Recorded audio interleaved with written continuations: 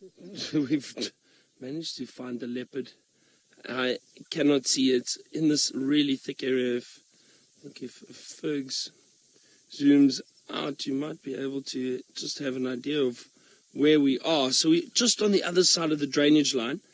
Um, Rexon did also help us help us find this leopard. Um, he walked just on top of the, the dam wall. But you see how thick it is now. Below this jackalberry, the kill is literally hidden right in here. And this leopard um, managed to, well, is lying just off to the side. Now I wonder, I wonder if, and I might try reposition. I think if I go up to the top there, Fergs, I think we're going to have a better view. Um, so now, after getting in here, which wasn't easy, I have to try get out again, drive around, and I think if I stop up there, we might have a. Let me just move forward here quickly. Let's just see if we can get a view from here.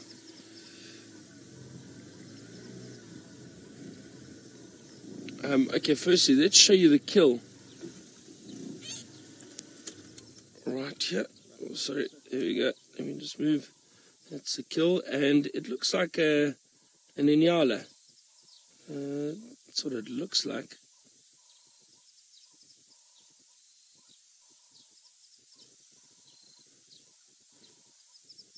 Now, I still haven't been able to see um, if this is a male or female leopard. I um, just uh, we've seen a few few rosettes hiding in the in the grass.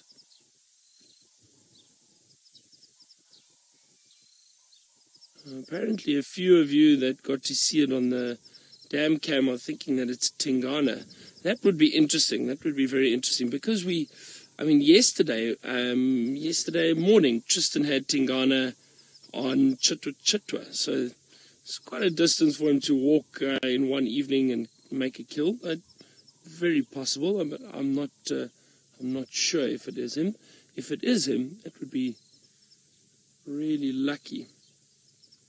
All right. Well, I think uh, let me try and sit and re or maybe reposition, see if we can get a better view of this leopard. In the meantime, let's go back across to Steve, who's looking at some beautiful flowers. At this, we have managed to get a view of this beautiful leopard, busy cleaning himself, and I think this is Tingana. It look it looks like a big male Tingana. Maybe some of you can give me confirmation. Um, but it, it looks like it. An old male that we see around here. That's interesting. He's covered quite a distance there from Chitwa. Not unusual for leopards to cover big distances like that. And he's managed to kill a male bushbuck. That's what it was. Um, I managed to get a better view of that kill. So a male bushbuck, which is a very decent kill for um, for this leopard, and is in a perfect area to hide and feed and is close to water. So at the moment, this leopard has done very, very well for himself. He had fed on uh, quite a bit of the carcass, the I would say the, the rump of the carcass. Quite a bit of the meat had been fed on already, but there's still a lot there. So I think this leopard will still be here for, for at least a day or so, um, maybe even two until that kill is finished. Possibly, if he feels threatened, he might take it up into one of these, these trees. And there's some big jackalberries around here. Just off to the left is a big jackalberry. So, if he did feel threatened, he might. Or if he did want to try and save this kill, he might take it up there. But the nice thing is, is that he's in such a thick area. The grass the grass could also potentially mask the scent of the kill. So I think he's, he's managed to do very, very, very well for himself. And uh, apparently, a lot of you very excited that it is Tingana. And um, and yeah, I think this is this is wonderful news for us because. Mm, is it uh, Carol or Kel? Sorry, you say he was also scent marking. Carol, um, sorry, Carol. I can't get it. I can't get. Durban Carol. Cal. Carol. Carol. Yeah, but pronounced in Durban. Sorry, Carol. Uh, Uh, sorry, uh, folks also got uh, K E L, Cal, Cal. Um, you say that uh, Tingana was also scent marking, so that is that is good news. He, it looks like, um, and, and for those of you um, who haven't seen this male leopard for a while, he he lost quite a lot of condition. I, I don't know exactly what happened to him. If he if he got injured or or what happened. Um, but he, he lost a lot of condition. He was looking really, really thin um, and, and, and quite gaunt. But, um, but he managed to feed on a carcass at Chitwa Chitwa Dam, um, which we're not sure if he killed or if a young male leopard, Tamba, who was seen together with him, if that leopard managed to make the kill. However, this male uh, kept that young male off the carcass and fed on it which obviously gave him quite a bit of energy. And he's now moving around a lot again. And because he was hanging around Chitwa Dam for, oh, gee, at least a week or almost two weeks, I think. So, um, so to see him moving around, oh, he's got a, quite a nasty tick just below the eye. I'll probably clean that off at some point. Um, but he's moving around a lot. He's scent marking, so that's a good sign. Um, he's potentially building his energy again so he can defend his territory. So for him to kill this bushbuck, that's a huge success for this male leopard, and possibly we might see him gaining even more condition and looking really, really good in in the weeks to come.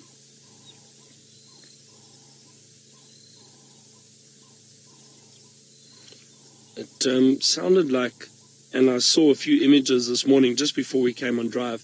There was a lot of activity at this dam last night. There was um, there were hippo having a bit of a standoff. There was white-tailed mongoose. Um, it sounded like lions calling in the distance. I don't know if if there was a lion seen actually on the dam cam in the early hours of this morning. I think so. Um, and then of course this this uh, male leopard that dragged the kill right in front of the um, the camera.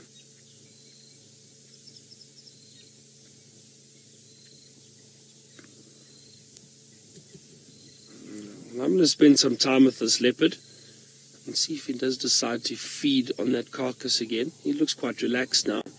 Let's go across to Steve, who's also relaxed and looking for some smaller creatures out on bushwalk. Oh, you can see he's now lying down a bit. He's cleaned himself now. He's resting. Starlight, is he back to defend his territory? Uh, possibly, possibly Starlight. I don't, I, you know, I don't know. I don't know. Um, I, I, I've seen. Okay, so let's put it this way. I've seen leopards get challenged um, in a fight and kind of get pushed out, um, and few months later, kind of still hang around and then almost take back part of their territory. Um, so I have seen that before. Um, and look, if this male, if Tingana manages to, to feed and gain condition, and who knows, may, perhaps that uh, other male Hukamuri who has been challenging Tingana, uh, perhaps he doesn't arrive back for a while. It could give Tingana time to recover and um, and maybe regain this territory. Uh, you see, there's a lot of variables. You know, I think uh, if that Hukamuri male is has been a nomadic male for a while, perhaps he's still moving around trying to look for ideal territory. Maybe he sets it up somewhere else. Might not necessarily be here, but um, it will be interesting to see how the story unfolds and what happens. But I cannot be sure. I cannot be sure. You know, one thing I've realized being in the bush for so many years is that um, we can never really tell what's going to happen. You can think you you know and understand the animals really really well and they will always do something that surprises you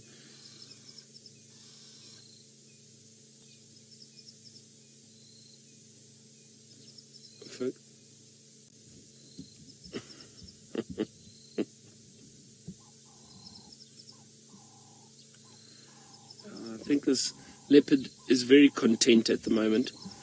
He um, he's, he's full. He, he definitely fed on a lot of it, a lot of that bushbuck carcass.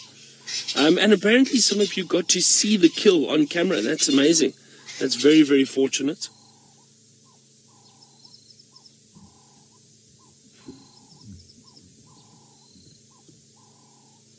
It just shows you what actually happens when we when we're not on drive, when we all sound asleep at night.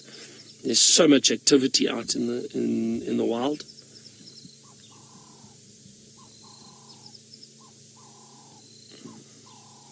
All right, let's see if Tingana decides to move in the next little while. I won't spend too much time with him, just see if he does decide to move. But if, but in the meantime, let's go across to Taylor and find out how her drive is going this morning. Well, Tingana is sleeping. That's what he is doing. But have a look how full his belly looks at the moment. So he is very, very content.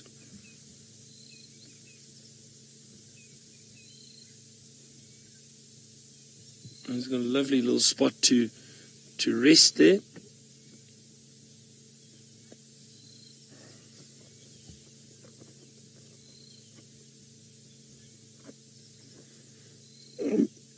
Michael, um, you're asking about habituating leopards that aren't from the Sabi Sands. Well, so Michael, generally, generally, most of the leopards in the Sabi Sands were born in this area. Um, obviously, now and then we may get leopards coming in from uh, possibly the Manyeleti, which is north of us. Um, you could get leopards coming in from Kruger. So, um, ideally, the, the best way to habituate a leopard is in a scenario like this, for example. So, track and find where they've made a kill and possibly follow a drag mark where they've dragged a, a kill or hoisted it into a tree.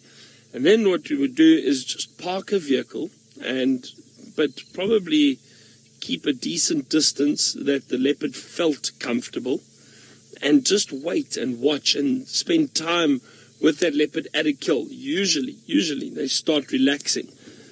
The best way is obviously when if you can find the leopards as cubs, because then uh, then you can spend time with them and the mother and the female, and uh, most of the time the female would be would be relaxed, and the, that way the cubs would be relaxed. So the cubs get used to the vehicles fairly early on in life, and they become somewhat relaxed and habituated.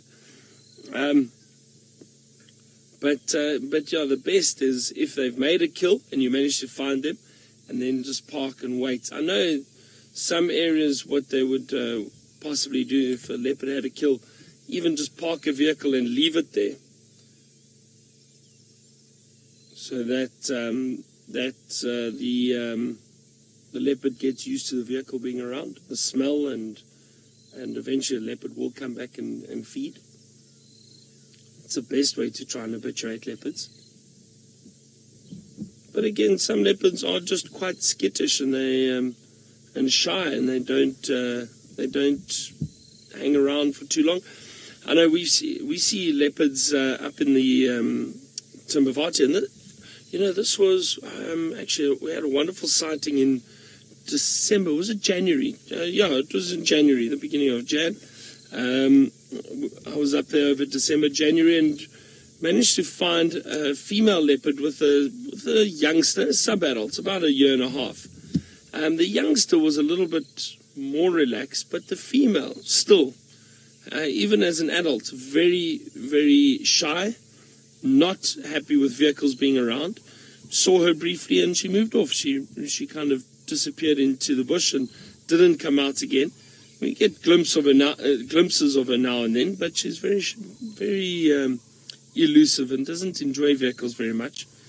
That's probably, I don't know, just her nature. But it's it's interesting, to, interesting to see, you know, leopards that if they don't want to be seen, you're not going to find them. That's for sure. It's a lovely little image of Tingana resting down there in the corner. No, I think um, we're probably going to leave this male soon.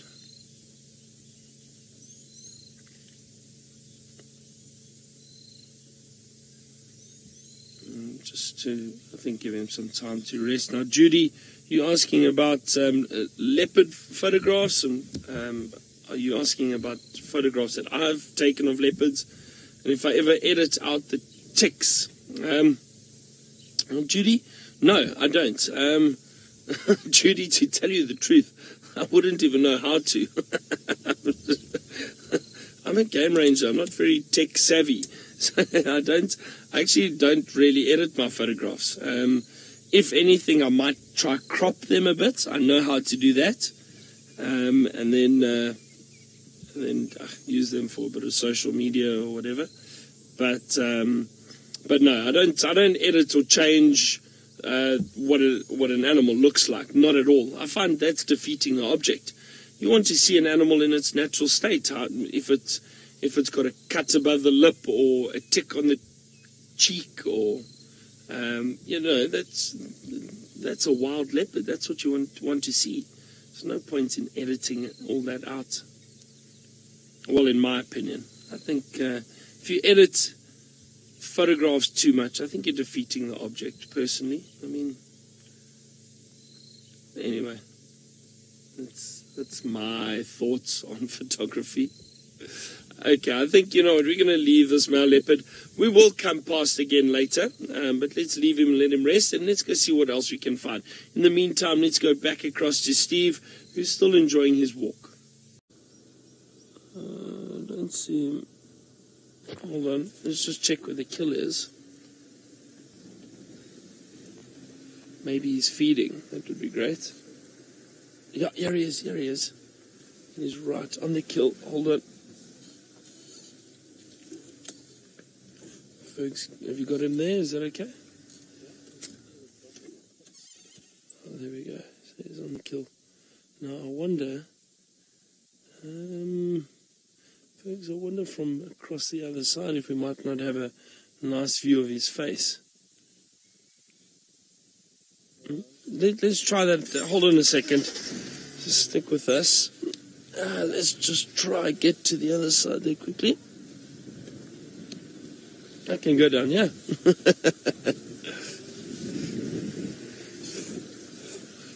All right.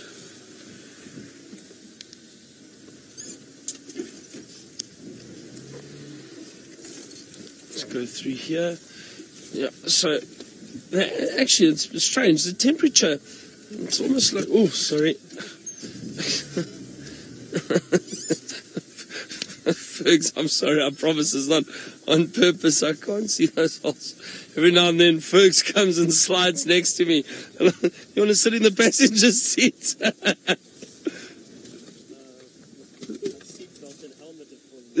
sorry. Oh dear, this is going to be tricky now. There's that guarri bush in the way.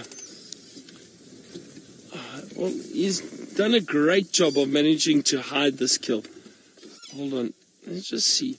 Now, was he limping? I'm just trying to have a look. Uh, let's just be patient and wait, and he's possibly going to move. Let's just see.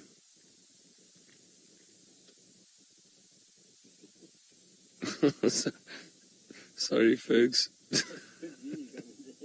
yeah. Yeah, yeah, no, it's, uh, it's terrible. well, I think Tingana and I are in the same boat, Taylor. but we have got a lovely view of him, and he's busy feeding on that carcass. And there's a lot of meat left for this leopard, so he's definitely going to enjoy this for about a day, I reckon.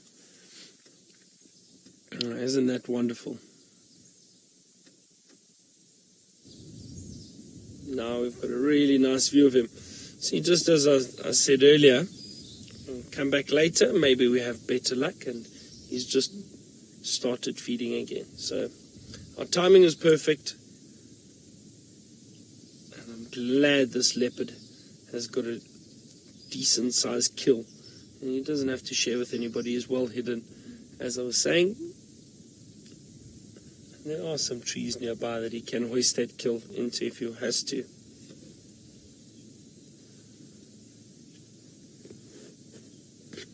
Donzi, uh, have I ever seen a leopard or lion without a tail? I have. I have indeed. I've seen two lionesses uh, without without a tail. So, um, what happened was, um, I think it was uh, 2000, but that seemed to have just lost you there briefly. But uh, we still got a lovely view of of the leopard. Um, so I was explaining about the lions that uh, that I saw without a tail. So about 2007, 2008, there was um, the Tsalala Pride, uh, three females uh, and uh, f- adult female or slightly older female with her two offspring. Um, they were, but they were about, they were sub-adults. they were sub-adults uh, back then, and um, they were feeding on a kill, and the hyena came in, outnumbered them, attacked them, and the eldest lioness tried to defend the kill and um, and protect the youngsters. And the hyena attacked her and managed to bite her tail off. So she was known as the tailless lioness. But then, surprisingly, in 2009, um, it was I forget these dates, 2009 or 2010, can't remember. Similar situation, same pride on a kill. Um, they had some young cubs with them.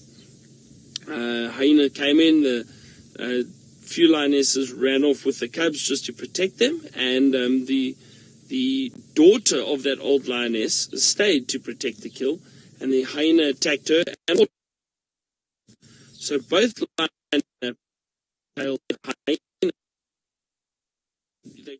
They, carried on; they were fine, hundred percent fine. But um, but both tails bitten off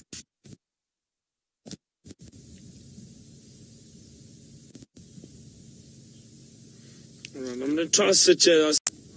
Thanks, Taylor. Well, I mean, it's always just nice to spend time with this big leopard. Just move the carcass a bit. I'm going to forward. I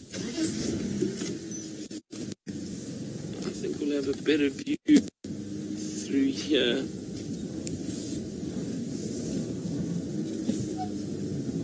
There we go. Oh, thanks. Is that a bit better? There we go. Right, and maybe our signal holds up nicely here. Oh, look at that. That's a lovely view of him. And he lifted that bushbuck almost like it was nothing. Just moved it slightly, and it's quite a, I mean, it's a fairly large male.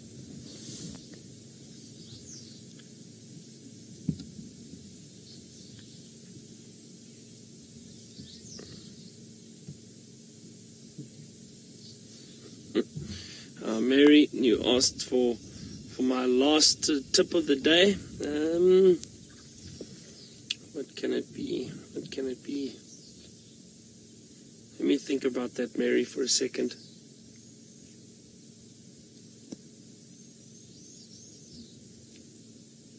Um, actually, you know what? Uh, I think why don't we why don't we make the tip of the day a bit about conservation? And I think uh, because you know the uh, conservation goes hand in hand with um, with tourism, and it's very very important.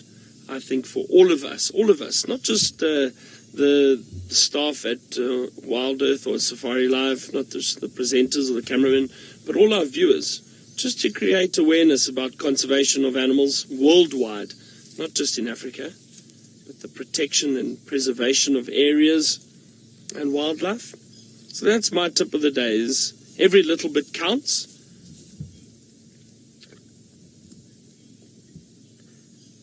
And um, and I think uh, and I think the more we speak about conservation, protecting animals, the more can be done. Um, and educating people that uh, wildlife cannot be used for uh, for medicinal uses or or myths like the rhino horn or elephant tusks or pangolin. And tomorrow is apparently World Wildlife Day, and I think they're focusing on, on big cats at the moment.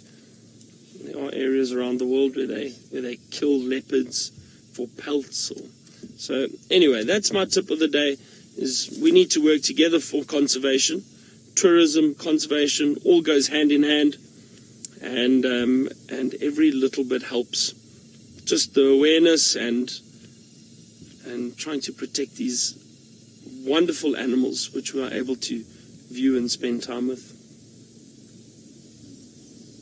A little bit of a serious one, but I think important nonetheless.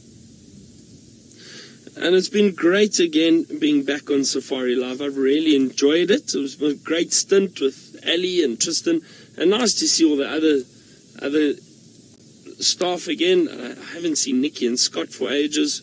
It's good to see them, and Taylor obviously back from the Mara in full force. so good to see Taylor. An exaggeration, nowhere, nowhere near leopard man of Africa. Tristan definitely has luck with leopard. Um, he actually saw Kachava the other day in the cub. I haven't seen that leopard, so. But we did see Tundi, well, not the cub though, but we saw Tundi about a week ago, just over a week ago when we had all that rain. Nice to see that new male in the area.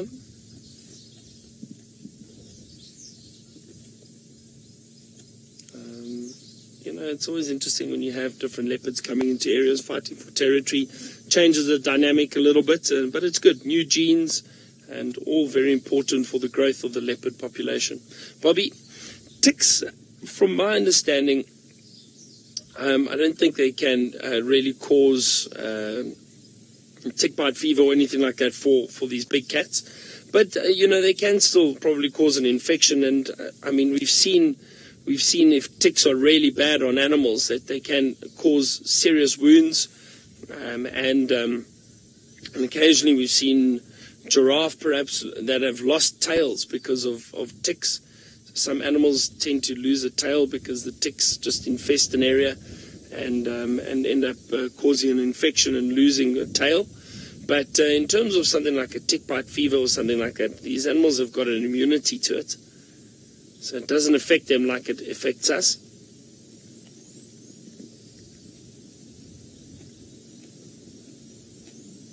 Oh, this male really is enjoying this carcass. Well, thank you very much to everybody who's saying goodbye and hope to see me soon. I'm sure I'll be back uh, maybe in the next six to eight weeks, possibly. And someone goes on leave again. Uh, perhaps we'll see. Chat to James and, and see, but I'm sure I'll be back again. And thank you very much again for all the wonderful messages over the last two weeks and questions. It's been a lot of fun. I hope you've enjoyed it as much as I have. Um, but I have got to go off and guide elsewhere and spend some time in the bush in different areas. So looking forward to that.